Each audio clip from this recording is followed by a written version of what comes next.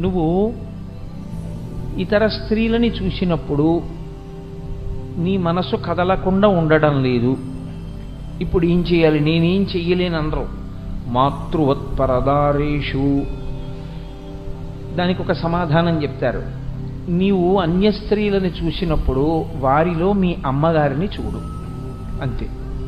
ఇక అమ్మ అన్న సమన్వయం ఎక్కడుందో ఇక అక్కడ కామానికి అవకాశం ఉండదు. అది పాల మీద నీళ్ళు చల్లడం లాంటిది. ఆ పొంగు చల్లారుతుంది.